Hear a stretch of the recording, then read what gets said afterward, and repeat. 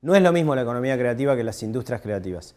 Las industrias creativas son aquellos sectores, como les decía, que tienen al talento como insumo principal, se miden, algunos meten más, menos, pero hablamos de la industria audiovisual, el cine, la publicidad, la televisión, la animación, los videojuegos, la industria de la música, la industria editorial, la moda, el diseño y algún otro que me estoy olvidando.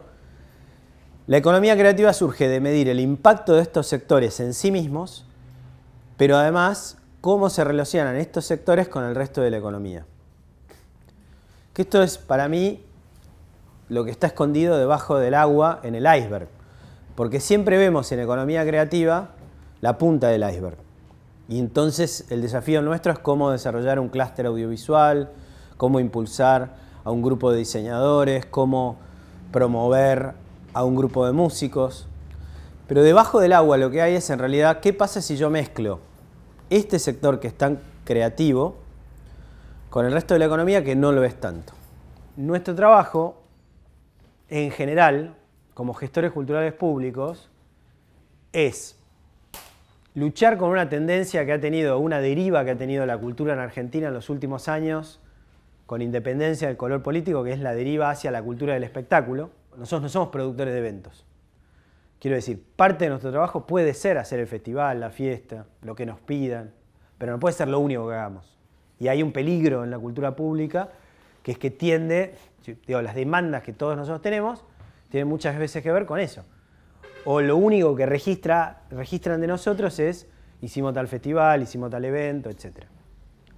Si uno saca eso de la ecuación por un segundo, aparece todo lo otro, que es parte de nuestro trabajo como gestores culturales públicos. O sea, la cultura no es para nosotros, no es para los artistas, la cultura es para la sociedad en general. Digamos, ¿cómo impacta el arte y la cultura en la sociedad en general en términos transformadores?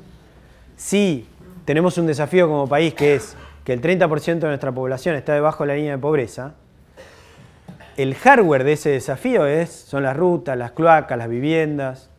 Eso es el hardware. Ahora, el software tiene que pasar por la cultura.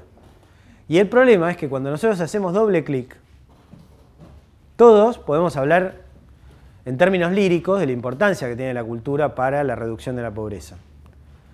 Ahora, en términos más rigurosos, es mucho más difícil encontrar programas que sistemáticamente puedan demostrar, porque tienen estudios, y acá contesto, voy al primer punto también, tienen estudios que pueden demostrar, al menos en un caso testigo, una prueba de control, que efectivamente más plata puesta acá es llegar a esa finalidad que estamos persiguiendo. Y aparte hay gente que se pone muy incómoda cuando uno dice midamos la cultura. Eh, no, la cultura no se mide. Nosotros tenemos que medir todo porque somos eh, servidores públicos.